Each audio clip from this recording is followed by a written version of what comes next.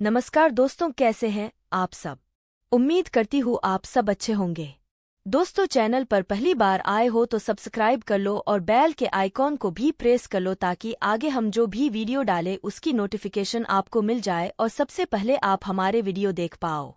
तो दोस्तों, police inspector Ishan को काफ़ी ज़्यादा टॉर्चर कर रहा है। क्योंकि ईशान को पुलिस इंस्पेक्टर जानबूझकर गिरफ़्तार करके वह जेल लेकर आ गया ताकि वह ईशान को टॉर्चर कर पाए।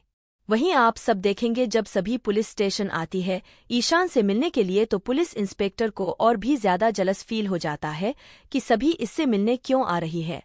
वहीं आप सब देखेंगे पुलिस इंस्पेक्टर पूरी तरीके से कोशिश कर रहे हैं कि ईशान जेल के अंदर ही रहें कि उनके और सभी के बीच में कोई रुकावट ना बने। अब आगे के एपिसोड में आप सब देखने वाले हैं, पुलिस इंस्पेक्टर और सभी के बीच में क्योंकि पुलिस इंस्पेक्टर सभी के पीछे एकदम दीवाने हो चुके हैं। और साइको लवर बन चुके हैं। आगे के एपिसोड में आप सब यह भी देखने वाले हैं, ईशान को जेल से बाहर निकालने के लिए सभी पूरी कोशिश कर रही है। और उस लड़की से गवाही दिलवाएगी जो लड़की झूठी न्यूज़ में खबर दी है।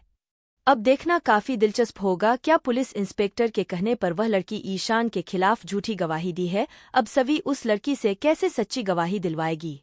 और ईशान को बेगुनाह साबित करके जेल से बाहर निकालेगी। तो दोस्तों, आज के इस वीडियो में बस इतना ही मिलते हैं। नेक्स्ट वीडियो में तब तक मुझे इजाज़त दे। नमस्कार, वंदे मातरम। जय हिंद, जय भारत। सत्यम।